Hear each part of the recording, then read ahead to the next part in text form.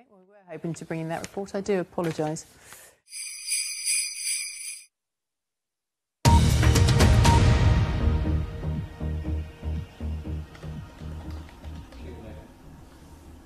You're watching BBC World News. I'm Naga Munchetty. Here are the headlines. Turkish police are on the streets of Ankara overnight trying to disperse protesters.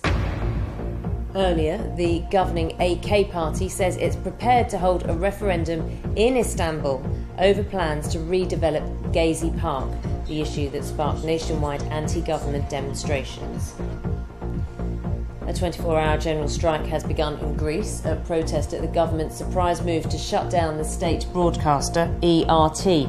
Nearly 3,000 people will lose their jobs. The government said it was a cost cutting move. Edward Snowden, a former CIA. Edward Snowden, a former CIA employee, has claimed that the US government had been hacking into computers in Hong Kong. More on both those stories and much more else besides in about uh, 50 minutes' time when I'm back with World Business Report.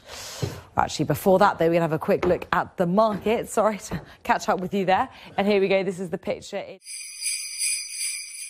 And the time is 18 minutes past six. Coming up on tonight's programme.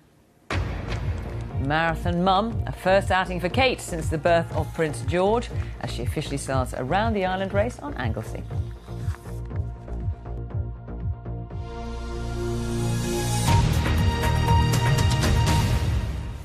It was the maternity unit at the centre of an NHS scandal. There were claims of fatally.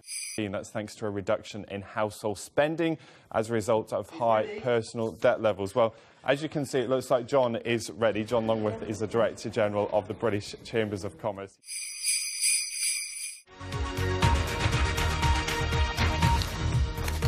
Hello and welcome to our look ahead to what the papers will be bringing us tomorrow. Goodness me, what is happening there? in a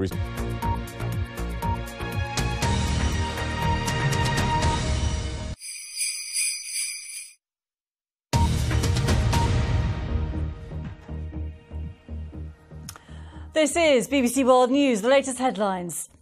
I'm Geeta Gurumurthy. Tests, sorry about that. We're having a few technology problems in our new studios. Do bear with us.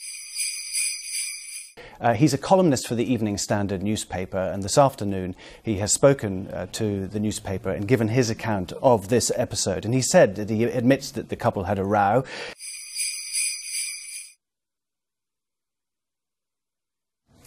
Hello, welcome to BBC World News. I'm Martine Dennis. And I'm Sally Bundock. Here are the headlines.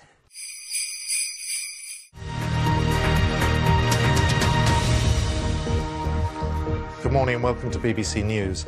Plans for privately run drunk tanks to tackle alcohol fueled disorder have been